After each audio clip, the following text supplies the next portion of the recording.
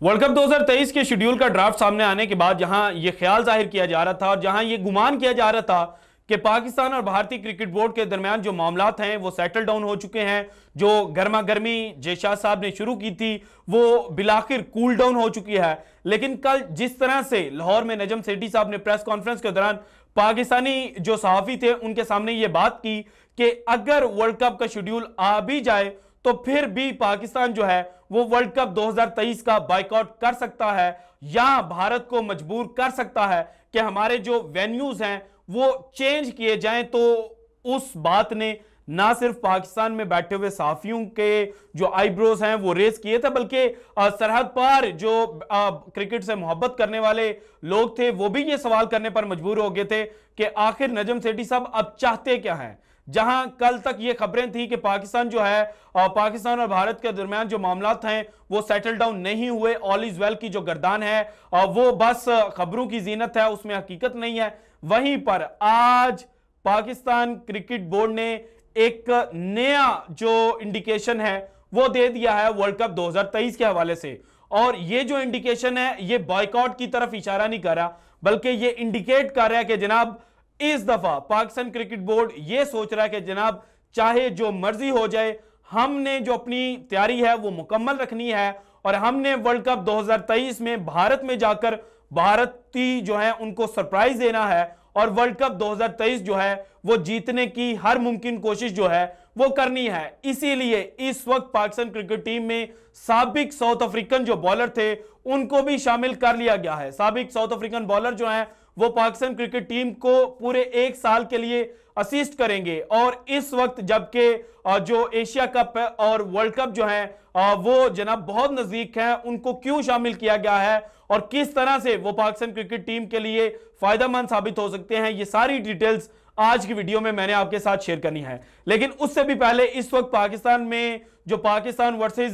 Sri Lanka test के लिए squad announce हुआ है, उसको लेकर बहुत ज़्यादा चैमगोइयाँ हो रही हैं। कुछ पुराने चेहरे तो शामिल किए गए हैं, लेकिन दो नए चेहरे जो शामिल किए गए हैं, उनको लेकर यह बातें हो रही हैं कि जनाब एक दफ़ा फिर से नजम सेठी साहब के चेयरमैन पीसीबी बनने के बाद जो पाकिस्तान क्रिकेट है, उसमें जो पर्ची वाला सिस्टम है, उसमें जो सिफारिश वाला कल्चर है, वो आम हो चुका है। और ये दोनों प्लेयर्स जो हैं, ये किसी और की पर्ची है, ये किसी और के कहने पर आए हैं। सो उन दोनों प्लेयर्स को, यानी कि जो आमिर जमाल हैं, उनको क्यों सिलेक्ट किया गया है? उनकी क्या परफॉर्मेंस है? और जो पाकिस्तान शहीन के लिए उन्होंने खेला उसमें क्या ऐसा किरदार उन्होंने अदा किया था कि जिसकी वजह से जो टेस्ट स्क्वाड है, उसमें उनको शामिल किया गया है? जबकि जो दूसरा नाम लिया जा रहा है, वो सियालकोट से ताल्लुक रखने वाले जो जनाब इमर्जिंग प्लेयर हैं, मोहम्मद हुरैरा। उनको कहा जा रहा है कि इनको सिर्फ़ और सिर्फ़ शोएब मलिक के साथ रिश्तेदारी की वजह से शामिल किया गया है। सो, इसके पीछे की जो पूरी कहानी है,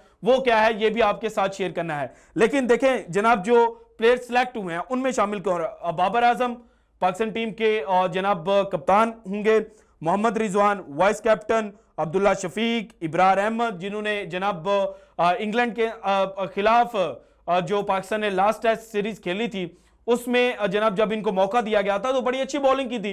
और उसके बाद यह ख्याल ज़ाहिर किया जा रहा था कि पाकिस्तान को यासिर शाह के बाद जो कमी महसूस हो रही थी, शायद उस गैप को जो इब्रार अहमद है, वो फुल कर देंगे। सो, इब्रार अहमद शामिल हैं। उसके बाद देखा जाए हसन अली जिस तरह से काउंटी के दौरान इन्होंने अपनी परफॉर्मेंस दी है ये आ, एक जगह पर तो ये सवाल भी किया जा रहा था कि शायद हसन अली को वर्ल्ड कप 2023 की जो टीम है उसमें शामिल किया जाए। लेकिन इस वक्त जनाब उनको टेस्ट स्क्वाड का हिस्सा बना लिया गया है। इमामुल हक जो है वो टेस्ट स्क्वाड का हिस्सा होंगे।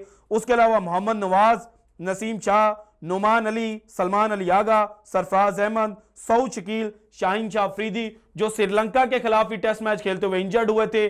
श्रीलंका के खिलाफ ही टेस्ट मैच में उनकी जो रेड बॉल क्रिकेट है उसमें वापसी होने जा रही है। और इनके हवाले से जो पिछले दो दिनों से खबरें एक मखसूस मीडिया ग्रुप और एक मखसूस जो सहाफियों का ग्रुप है वो फैला रहा था कि जनाब जो शाहीन शाह अफरीदी हैं वो पैसे के लिए इंग्लैंड के अंदर काउंटी क्रिकेट तो खेल सकते हैं लेकिन पाकिस्तान को जब उनकी ज़रूरत है रेड बॉल क्रिकेट में तो पाकिस्तान के लिए अवेलेबल नहीं होंगे। वो भी दम तोड़ चुकी हैं। तमाम अफवाहें जो हैं वो इस वक्त ज़मीन बोस हो चुके हैं और शाहीन शाह अफरीदी जो है उन, उनका भी पैगाम आ चुका है कि वो रेड बॉल में वापस आने के लिए बहुत ज़्यादा परजोश हैं और वो पाकिस्तान क्रिकेट टीम के लिए अहम रोल प्ले करेंगे। जबकि इसके अलावा शान मसूद जो हैं उनको भी पाकिस्तान टीम का जो हिस्सा है, वो बनाया गया है। बल्कि ये तो जनाब जो पहले भी पाकिस्तान क्रिकेट टीम को रिप्रेजेंट कर रहे थे, सो इनको स्क्वाड में बरकरार रखा गया है। और इस वक्त लाहौर में जो डब्ल्यूटीसी का जो करंट साइकिल 2023 से लेकर 2025 तक खेला जाना है, चूँकि ये जो श्रीलंका के खिलाफ दो मैचेस की सीरीज़ है, ये उस वर्ल्ड टेस्ट चैंपियनशिप का हिस्सा है। सो इसलिए लाहौर के अंदर जो बॉलर्स हैं और बैट्समैन जो हैं, वो प्रिपरेशंस कर सकते हैं। ये वीडियो साथ चलते हुए आप देख रहे हैं कि जनाब जो नसीम शाह हैं, वो भी बॉलिंग कर रहे हैं और जनाब जो अपनी पेस है उसको जनाब बढ़ाने के लिए जो जनाब जो प्रैक्टिस है, वो इस वक्त पाकिस्तानी बॉलर्स की जानब से की जा रही है। अब आते हैं जनाब जो आमिर जमाल है, उनको टीम का हिस्सा क्यों बनाया गया? देखें, आमिर जमाल मोहम्मद अब्बास और एहसानुल्लाह के दरमियान टाई था। इन तीनों में से किसी एक प्लेयर ने सिलेक्ट होना था। अब मोहम्मद अब्बास नो डाउट जनाब, इंग्लैंड के अंदर जो करंट काउंटी चैंपियनशिप खेली जा रही है, उसमें जनाब, अपनी टीम जो है, उसके लिए विकटें जो हैं, वो ले रहे हैं। लेकिन जिस तरह से उनकी रिसेंट जनाब पास्ट में जो पेस है, उसमें डिक्लाइन आया है तो उसकी वजह से मोहम्मद अब्बास को रूल आउट कर दिया गया। अब आप कहेंगे कि अगर पेस की वजह से मोहम्मद अब्बास को रूल आउट किया गया तो फिर जनाब पेस ही की वजह से एहसानुल्लाह को क्यों सिलेक्ट नहीं किया गया? तो देखें, एहसानुल्लाह जो है ना, वो पाकिस्तान का जो ओडीआई प्लान्स हैं, उसमें शामिल है। यानी कि व्हाइट बॉल क्रिकेट जो है उसमें शामिल है। और एहसानुल्ला के साथ एक और चीज़ जो है, वो ये लिंक की जाती है कि एहसानुल्ला जो है वो शायद अभी जो उनके मसल्स हैं, वो पाँच दिन की जो क्रिकेट है, वो नहीं खेल सकते। सो इसलिए एहसानुल्ला को भी जनाब रूल आउट किया गया। जबकि आमिर जमाल की अगर जो लास्ट सीज़न देखा जाए जनाब कायद ट्रॉफी का तो उसमें उन्होंने बड़ी अच्छी बॉलिंग की हुई थी। यानी कि पाकिस्तान की विकटों में एक सीज़न के अंदर 31 विकटें उन्होंने ली थी और जनाब सताइस के करीब उनकी एवरेज थी। सो इसकी वजह से जो लीडिंग विकेट टेकर होने की वजह से उनको सिलेक्ट किया गया है। और अगर रिसेंट पास की बात की जाए तो जिस तरह से जो जिम्बाब्वे के खिलाफ उन्होंने खेला है पाकिस्तान चाइनीज़ की नुमाइंदगी करते हुए कि छह मैचेस के अंदर जनाब, उनकी 16 विकटें थी। उन 16 विकटों की वजह से उनको प्रायोरिटी दी गई है मोहम्मद अब्बास और एहसानुल्ला पर। इसके बाद देखा जाए तो जनाब, मोहम्मद हुरैरा।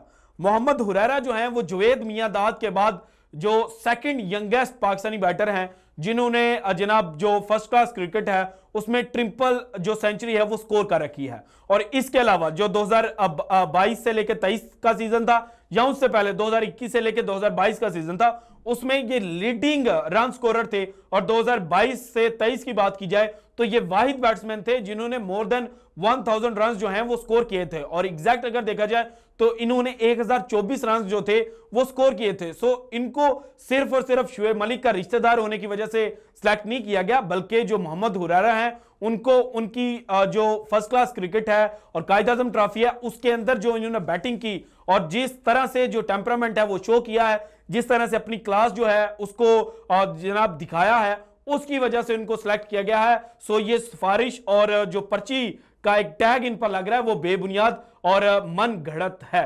इसके बाद आता है जनाब, असल टॉपिक की जानब। देखिए, पाकिस्तान और भारत के दरमियान चीज़ें अभी तक कूल डाउन नहीं हुई। लेकिन अभी जो पाकिस्तान ने बॉलिंग कोच रिप्लेस किया है, यानी कि उमर गुल की जगह पर आए हैं मोरने मॉर्कल, उस चीज़ से वाजह होता है कि जनाब, मोरने मॉर्कल जो रिसेंटली आईपीएल के अंदर लखनऊ सुपर ज्वाइंट्स के बॉलिंग कोच के तौर पर जनाब मौजूद थे और लखनऊ सुपर जॉइंट्स जो हैं वो जनाब दस टीमों में से उन चार टीमों में शामिल थी जो कि प्लेऑफ में जिन्होंने क्वालिफाई किया था। और इनकी जनाब जो बॉलर थे उन्होंने एक कलीदी किरदार जो है वो प्ले किया था लखनऊ सुपर जॉइंट्स के प्लेऑफ में पहुँचने पर। सो जनाब मॉर्ने मॉर्कल जो है, वो एक हाईली बेनिफिशियल एडिशन है पाकिस्तान क्रिकेट टीम का, जो करंट मैनेजमेंट का सर्किट है। क्योंकि इसमें देखा जाए तो मिकी ऑर्थर जो है, वो पाकिस्तान टीम के जो सबक हेड कोच है, अब पाकिस्तान टीम के साथ एज अ डायरेक्टर जो है, वो वर्क कर रहे हैं, जबकि उन्हीं के कहने पर जो ग्रैंड ब्रेडबर्न है, उनको जना पाकिस्तान टीम का हेड कोच बनाया गया था और उनके अलावा साउथ अफ्रीका से ताल्लुक रखने वाले एंडियोपुटिक जो हैं, वो जना पाकिस्तान के बैटिंग कोच हैं। जब इन दोनों नामों को देखा जाता है तो शायद एक चीज़ जो लिंक की जाती है वो ये है कि ये दोनों नाम जो हैं, ये मॉडर्न डे क्रिकेट में उस तरह से कारमंद नहीं है या इन दोनों जो नाम्स हैं, इन्होंने शायद इतनी अच्छी क्रिकेट नहीं खेली। लेकिन जनाब जो मॉर्ने मॉर्कल है उन्होंने 318 मैचेस जो हैं वो साउथ अफ्रीका के लिए खेल रखे हैं जिसके अंदर उन्होंने 544 जो विकेटें हैं वो हासिल की रख, कर रखी हैं। और इसके अलावा टेस्ट की 160 इनिंग्स में उन्होंने 309 खिलाड़ियों को आउट किया है। ओडीए के अंदर 114 मैचेस में एक विकेटें उनके खाते में है जबकि टी के अंदर चौवालीस टी में जो 47 विकेट्स हैं वो उन्होंने हासिल कर रखी हैं। और अगर देखा जाए कि मॉर्ने मॉर्कल रिटायर कब हुए हैं मॉर्ने मॉर्कल जो है, वो रिटायर हुए हैं 2018 में। और 2018 की क्रिकेट और आज की क्रिकेट में कोई ज़्यादा फ़र्क नहीं है। क्रिकेट उसी तर्ज की है। और जो पेस है क्रिकेट की वो भी उसी तर्ज की है। और चूँकि जो मॉर्ने मॉर्कल हैं, वो डेल स्टेन के साथ बॉलिंग कर चुके हैं। डेल स्टेन के इंपॉर्टेंट जो जनाब पार्टनर थे, वो समझे जाते थे। उसके अलावा जो south African legend Shaun Pollock थे, उनके साथ भी जनाब ये काम कर चुके हैं। सो इस वजह से जो इन्होंने साउथ अफ्रीका की क्रिकेट टीम का कल्चर जनाब समझा था, वो कल्चर अब ये पाकिस्तान टीम में इंजेक्ट करते हुए नज़र आएँगे। और पाकिस्तान जो पहले ही फास्ट बॉलर्स की फैक्ट्री कहलाता है उसमें इस तरह के एक मायानाज फास्ट बॉलर का आना पाकिस्तान को, पाकिस्तानी बॉलर्स के लिए मजीद हेल्पफुल होगा। और इस वक्त इनकी जो अपॉइंटमेंट है, उसको देखा जा रहा है कि जनाब वर्ल्ड कप 2023 के प्लान्स के हवाले से, क्योंकि अप्रैल और मई के अंदर ये इंडिया के अंदर थे और जनाब जो इंडियन कंडीशंस है, उससे ये जो जनाब फेमिलिटी है फेमिलियर हो चुके हैं। सो जनाब, अब ये पाकिस्तानी क्रिकेट टीम के लिए भी हेल्पफुल होंगे।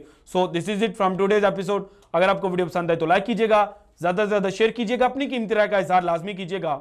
और अगर आपने अभी तक चैनल को सब्सक्राइब नहीं किया तो कर दें। शुक्रिया, अल्लाह हाफिज़।